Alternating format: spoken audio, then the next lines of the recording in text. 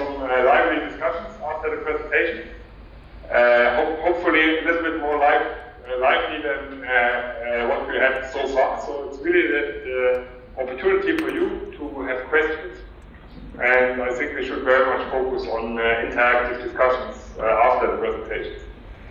Uh, otherwise, I, I, think uh, Hilda and Sebastian did a great job to introduce to the event. And now uh, we had prepared a little uh, presentation uh, for more formally introducing the case study portfolio and uh, that is uh, maybe the occasion to uh, lead, lead, lead, over to Sebastian that will who will have have this presentation now.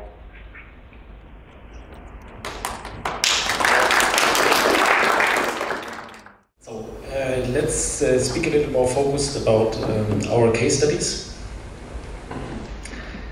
Um, when we set up this uh, cost action, uh, we had to write a memorandum of understanding. Um, so that's the mechanism of, um, of agreement. So if uh, someone wants to join this cost action, he has to agree on this memorandum of understanding. And uh, we, as a group of researchers, uh, formulated the memorandum of understanding. And what we can find here is uh, we need the case studies for uh, also for delivering input to our theoretical framework, uh, we need the practical uh, applied situations. Uh, we need to utilize our computational tools. and we need to demonstrate also the applicability of what we have been thinking about. So in, this sense, the uh, Industry Innovation Days uh, really, really uh, support what we have in the Memorandum of Understanding. This is a great tool to work on this. And yes, so in summary, basically the our case studies, this is working group four, uh, is link to our more theoretical working groups on the theoretical framework, on the uh, structural health monitoring and performance, and the methods and tools. Working group one, two, three, and also to it is the link to our standardization activities.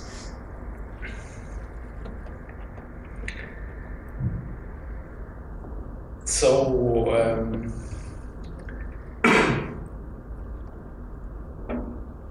we have been uh, working on getting the case studies to work. Um, and we have been uh, interacting with the working groups and, and our network, and we have requested case studies, and we have uh, collected quite quite a few. Um, and uh, yeah, we've also been starting out with uh, the identification of uh, typical challenges or difficulties we have been observing uh, in the previous years of the action. So, it is 19 case studies uh, which are under development. Uh, you will hear eight case study presentations in case all the case study presenters are here. Do we? Yeah. Super. So you will hear uh, eight case, uh, case studies today at this workshop.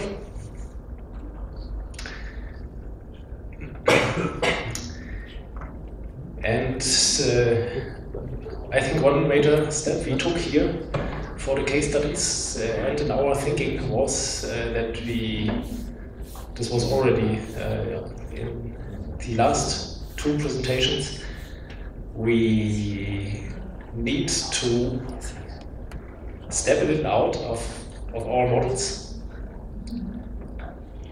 And uh, also of our conventional integrity management procedures. And uh, the specifics of our monitoring systems, but to address a decision scenario or a decision situation. And we have been uh, primarily looking at the design phase and the operation phase of an infrastructure. I think this is the most important phases. We have um, monitoring phenomena uh, regarding load processes, uh, damage detection, damage mechanisms, material properties. Actually, in our uh, in our framework, uh, we yeah, we, we can quite uh, extend this. Uh, there's there's quite some ways uh, to go. Uh, if we have a more general perspective, for instance, on the system states and on on basically in the complete infrastructure system.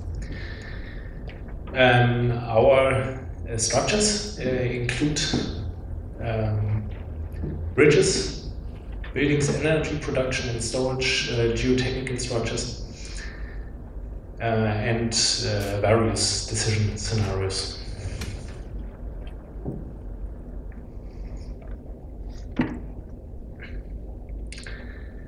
We are working on a case study classification so that it becomes easy to overview uh, what we are doing for the case studies and what case studies uh, do we have and uh, what is the result. So uh, the first point is that we classify the structure and the type, the life cycle phases, so the design and operation phase, what performance we are considering, is it deterioration or uh, is it the complete uh, performance of a, of a system, including the risks and extreme loadings. Very important, or the most important is our decision scenario, who's the decision maker, uh, what is the decision point in time. So uh, here the example is uh, for the structure integrity management, uh, the um, structure integrity management consisting of uh, yeah, very basic repair, inspection and monitoring should be planned uh, in the commissioning phase or even before in the design phase. Um, and the decision point in time is then uh, basically in the design or the commissioning phase uh, of a structure. This is where, uh, where our models are providing the highest benefit because uh, we can predict the performance. Uh, this is our decision tree I, I had in the last presentation. We can predict the performance. We can predict the uh, inspection outcomes. We can predict when to uh, repair. And uh, we can also predict uh, what monitoring data we will obtain. And when we associate this to costs in, uh, with each of the branches we have, uh, then we have a pre-posterior decision analysis, so we do a qualification of the expected benefits uh, before and we can optimize with our decision parameters. So uh, the best way to utilize our models is pre-posterior, so before any SHM system installation or uh, any action performance. So what's the objective? The objective uh, is, uh, this is in our models, to maximize the uh, expected benefits or minimize the risks. So we are always working with probabilities and the uh, monetary consequences. So very important, this is the basics of our decision scenario. Uh, and then the decision variables, so this goes to, in the decision tree, to the rectangles, it's the action and the action parameters, and it's the information acquirement strategies, so inspections, uh, monitoring, uh, and what parameters uh, do we have, and uh, what different uh, strategies we can utilize. So these should all be documented very shortly but distinct here uh, in this classification and then uh, it's the results, what is the value of information uh, like I outlined in the last uh, presentation. And uh, what are the decision rules? So, uh, what do we do in practice if our monitoring system provides one indication, so the structure safe, for instance, then uh, what should be done? Then maybe the next uh, inspection or the next repair action can be done later. So this is about the classification and the yeah, a way of summarizing and providing an overview of the case studies we are working on. Uh, a few words also to some uh, case studies which um,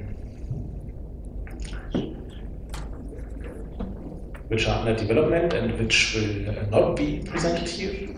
So uh, this is, for instance, the soil structure interaction effects effects uh, on the uh, excitation and response of reinforced concrete buildings uh, in case of earthquakes. So this is, uh, is very important for Iceland.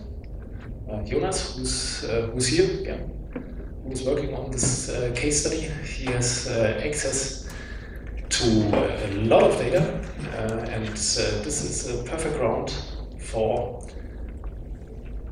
for doing such such case studies. Uh, but we are working together on a few challenges, like the uncertainty quantification and maybe uh, how to efficiently uh, do a damage detection uh, after such an event.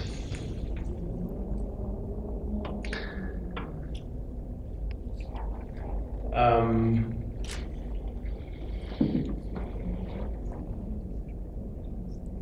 this is a case study uh, for developing information for seismic emergency management uh, of the highway bridge. Uh, Maria Pina and Simona Miraglia are working on this case study together with uh, Pier Francesco Giordano. Um, and uh, here we already have a decision tree. Yeah, that's a further development of this generic uh, decision tree we uh, have been seeing at the at the beginning. And um,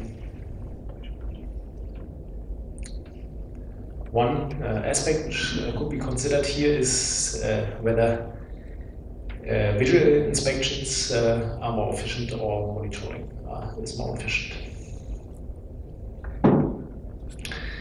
Um, here we have a very well developed, uh, already very well developed uh, case study. There's a few publications uh, about the uh, assessment of uh, fatigue uh, details and what value um, fatigue monitoring can bring for for doing the condition assessment. I think the way of further uh, working on this uh, case study is to also have a system perspective. Yeah.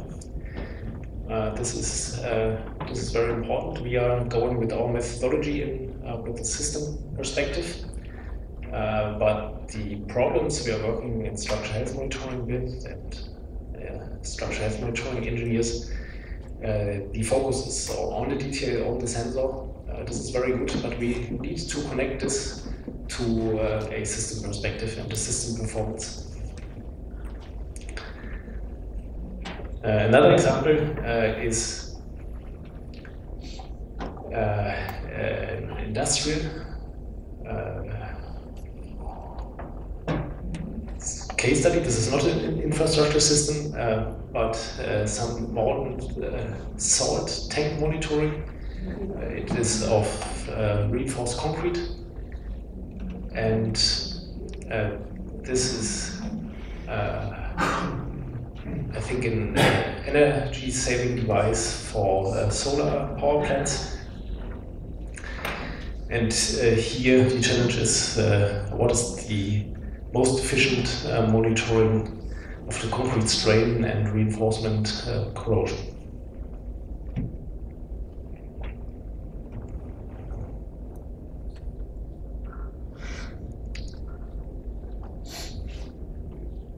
we have also cases where we have an extensive uh, monitoring record. Also, the most efficient way uh, of, uh, or this, this is this, we see this as the uh, largest potential of our methodology. Uh, but I think this is very important. We also need to address these situations and what we can learn from this. So we could uh, look, uh, was it efficient to do the monitoring? So we have a posterior decision analysis. Um, or uh, I think this is uh, the better way. Um, maybe uh, we can um, look how we uh, how we can sharpen our predictions, our prediction models for the next uh, case like this. And uh, also, what could be the most efficient SHM system with the experience of this uh, case study, and uh, then to account, uh, or and then go for the next case study and uh, but we then need to account for that uh, we may have a different ground and a different case study, and we have another uncertainty model.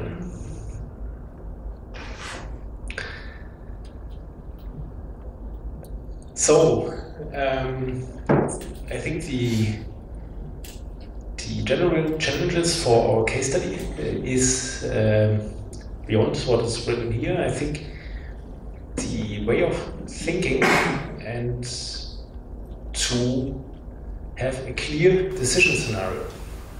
I think this has uh, this is the major step we have been taking. This is maybe not our actual challenge anymore. Um, but uh, of course, and uh, I think this goes also to a very important point. Um, it is the level of detail so, uh, and we already know, all of us know, uh, we are working in engineering with very detailed models, but the decisions based on the engineering predictions are taken with much similar models. And this uh, um, simple in uh, in the sense of detail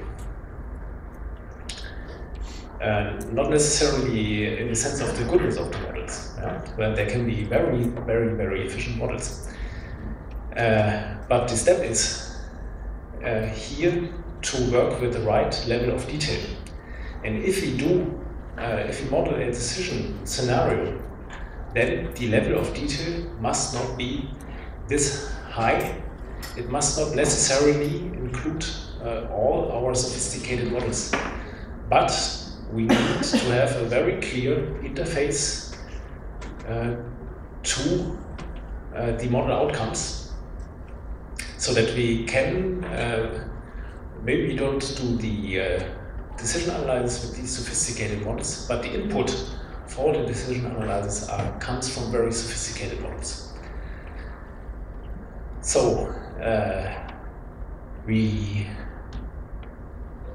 to to harmonize the level of details, we need uh, reasonable assumptions and simplifications uh, and uh, uncertainty representation. Uh, where are our uh, probabilistic models are based on? So uh, these are two general challenges. then specific um, it is, uh, we, we have been often observing this. So uh, we have our SHM system um, and it provides an outcome. How is it related to the uh, performance of the system?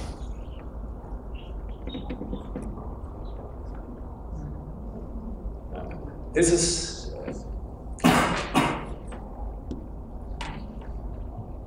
This is a very important aspect.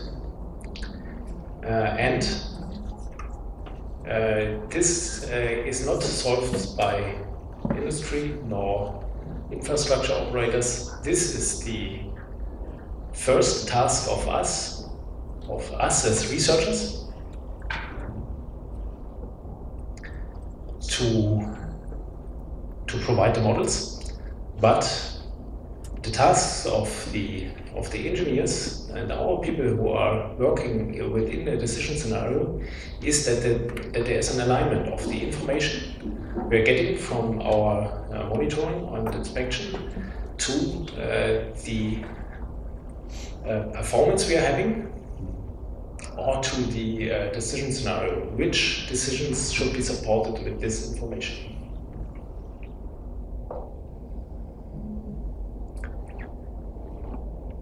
And then, uh, of course, we have a complexity challenge. Uh, so, spatial time dependence, spatial and time resolution. Um, what is the right level of detail? This is what I already addressed.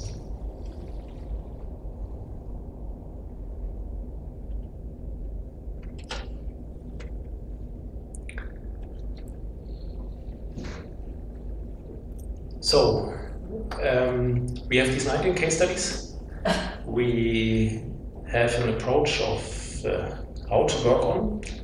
Uh, this is supported by our networking tools we're having, mainly by workshops, but also uh, uh, training schools. We had a very su successful training school last year uh, in November. Uh, in all aspects, also the location was very nice, organized by Maria Pina. Limongelli. Um, so, uh, in this sense, uh, there's a few levels of documentations. Internally, it's a fact sheet. Then there's publications of the uh, case study. We uh, follow the classification scheme. We would like to see the decision scenario, which uh, structure, what's the objective of the decisions, uh, and what are the results? What is the value of information? Is it worth, in this case, to implement SHM? The very basic question. But what strategy, what location uh, should be monitored and how long? Yeah. And uh, of course, uh, the work on our case studies um, helps in our cost action on the level of the theoretical framework, on the appropriateness, uh, appropriateness of tools and uh, methods we are having. Uh, and uh, yeah, we, we learn from, uh, from case studies, general and specific insights, but uh, we also learn about bottlenecks. So, enough for, for the introduction part. I think this was already a lot of information. So, uh, yeah. Let's have a break, refresh uh, the mind, and then we go into the case studies. Thank you.